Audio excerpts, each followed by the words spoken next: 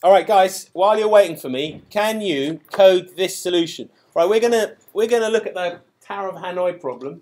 Actually, let's watch this video first.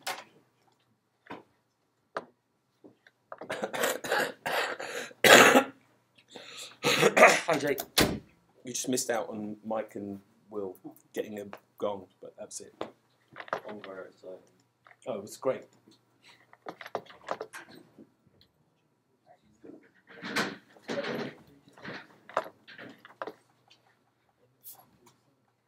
But at this stage, you may be looking at it and going, oh, come on.